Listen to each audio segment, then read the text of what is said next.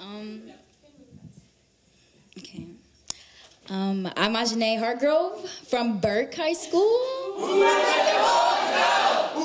The title of my poem is called On My Hood. Lost dreams of little black boys and little black girls, the metallic tasting crimson red blood from unsolved murders touch the cement. The light poles have memorial flowers adorning their bodies like bow ties, and pictures of victims to vengeful silver bullets. It's true that the darkest places produce the brightest stars. The hood was a dirtball place, but it was infested with talent that was overlooked by society. Barbecue cookouts, gas, and the smell of marijuana hung low in the air. I peered down the block, watching my brother like a lioness does her cub. His smile beautiful despite the tooth fairy stealing his teeth. He still seen the world as a Disney movie with a happy ending. Give me the ball. I looked down the street to see boys around my age. I started walking to defend my brother. Then he said, On my hood, you better watch out. I froze, having a flashback.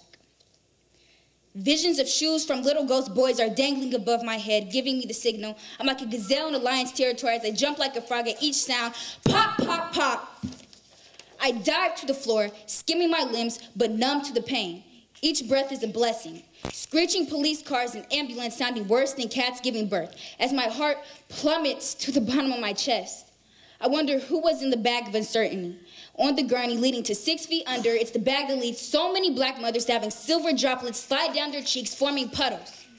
This is the pain of another black man's statistic a friend, cousin, brother. Now growing into a teenager, my brother will soon have his little mustache that looks like leftover chocolate milk he forgot to lick off. I taught him how to make two bunny ears into a bow, how to sweet talk his crushes, and how to add nine plus seven. But now I'm afraid one day I'll have to teach him what streets to avoid, to trust no one, and how to have a balance of book and street smarts just to be okay. Will he make it to 17?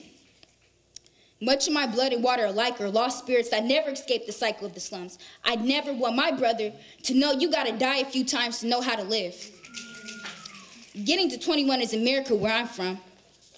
Black clashes with black in a war of survival. I drop to my knees for the pain is 10 tons. The guilt is a sucker punch on my hood.